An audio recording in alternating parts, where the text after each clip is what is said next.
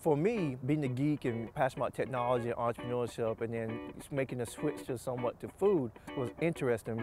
You came from tech and got into food, and I've come from food and now getting into tech. Yeah, totally. Impact became a big thing that I care about over the last couple of years in terms of like what difference can we really make on current generation and future generations. If you want to eat healthy, you want to live healthy, you want to learn about what you put in your body in terms of food, a hackathon may be a way of doing that in terms of help curating ideas.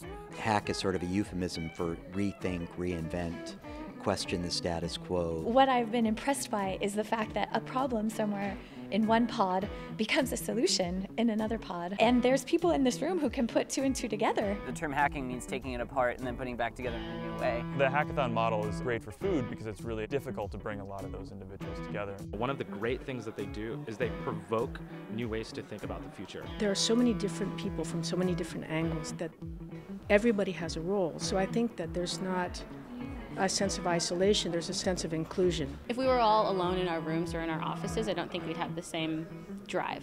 Food is a very personal, intimate, and powerful issue. It connects communities. That passion can easily be translated over to the solutions and how they're focusing on what those might be. We are at a great crossroads right now where consumers have unparalleled access to food information, but we are also at a point in our culture where actually many consumers don't have any sense of the most basic kind of nutritional needs. Both the one in April and this hackathon allows me to think out of the box in terms of actually looking at a serious problem and thinking of an innovative way to solve it. Having an idea, leaving the building to go research our idea, and coming back to find out that we had two customers. That was mind blowing. For me, cooking is very similar to hacking. So when I approach a hackathon or building a product, I really want to look at what are all of the resources I have and how can I maximize the best product possible. When you come to events like this, you're going to be inspired. It's going to take innovation, it's going to take a community, it's going to take a village, it's going to take hacking, it's going to take technology to solve those problems.